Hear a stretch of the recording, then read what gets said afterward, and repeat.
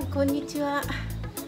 もう今お昼ぐらいなんですけれども午前中はアップルパンずっと焼いてました。ちょっと一段落したのでこんないい天気なので外でティータイムしようと思います。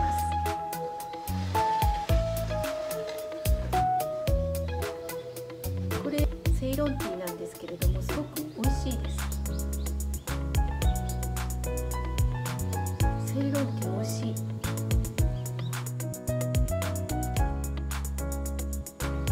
で今日の私のデザートはこの冷凍してあった10月のロールケーキ。それから冷凍してあった、栗の渋皮煮ですね。でちょっと解凍しました。まだねこのロールケーキ中のクリームがちょっと硬いです。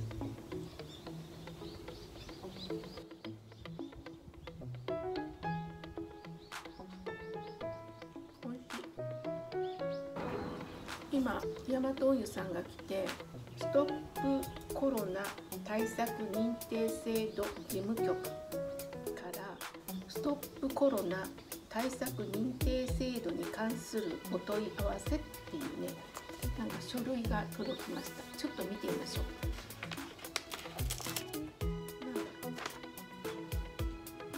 ップコロナ対策認定店舗様